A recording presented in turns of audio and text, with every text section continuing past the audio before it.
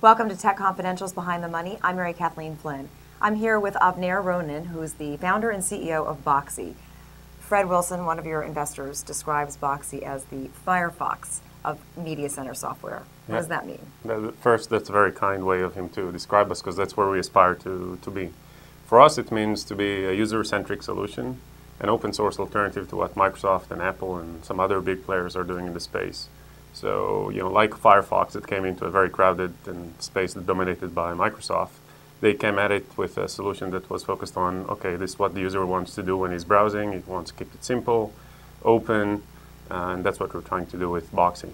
To create an open source media center that is social and that's an alternative to consumer to what they can get from Microsoft or Apple. So explain how I might use Boxee. I know you've been trying to get me to use it in my living room. Right. Um, you, you got to tell me whether or not you've got a Windows player yet. Uh, it's coming this week. Okay. Pre-alpha.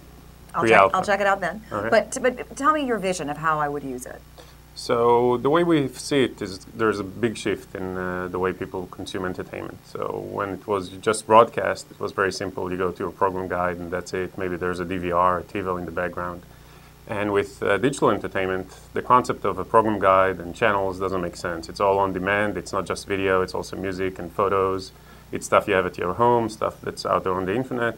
And the way we view it, the change is going to be that rather than viewing cable and broadcast all the time, you'll be spending like 80% of your time with digital media, uh, whether it's your own personal media or media that you stream from the internet, and just tiny little bit of time that is in front of broadcast, probably watching that NFL game or the Obama speech that is live, and internet and live are still not uh, going well together yet.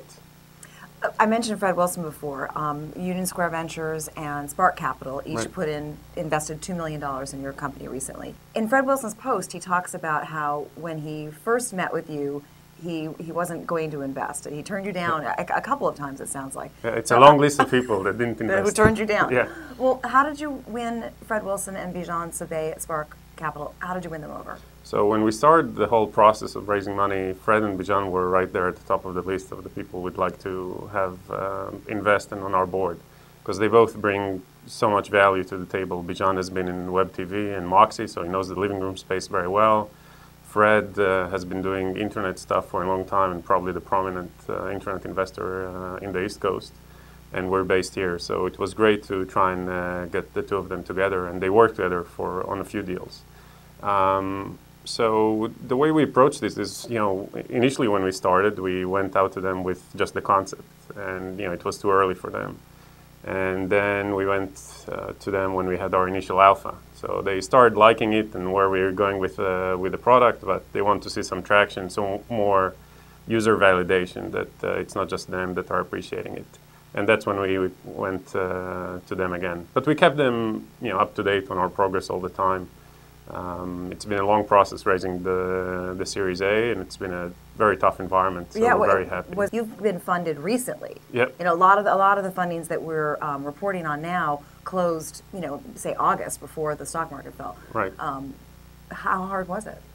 Uh, it was very hard. I think for us in general, I think it's you know it's a difficult investment to digest because it's a very crowded space and crowded with Microsoft and Apple and Comcast and Sony and you know names you'd not necessarily want to go against uh, as a startup. And um, it's you know it's a challenging challenging space. So even in a good environment, I think it's, it's a difficult investment uh, to make for many people. Um, for other people that have the vision and see where we're going, maybe it's easier to digest.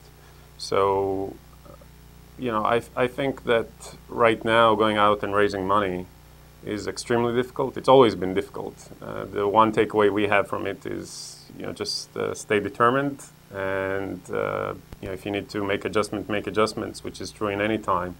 But I, I think people will get funded. It's just that um, I think the angel market is going to be very tight for many people. So that's kind of making it hard. You'll have to be better in bootstrapping, and kind of you know, skip at least for the next, I think, six to twelve months. You'll have to assume that you skip the angel round, go directly to VC. And demonstrate a lot of growth. I mean, it seemed to be that that was sort of what uh, was the tipping point for, for your investors. Right. Um, they saw that 10,000 people had downloaded the software.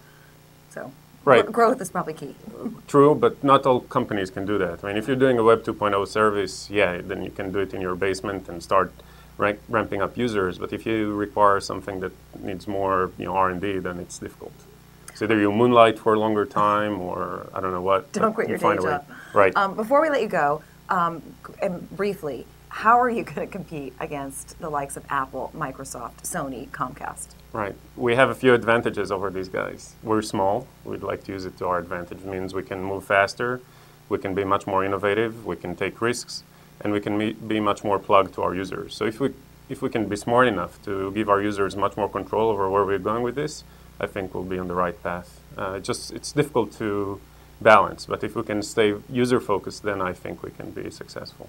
Thanks very much, Avner Ronen from Boxee, and thank you for watching Tech Confidentials Behind the Money. I'm Mary Kathleen Flynn.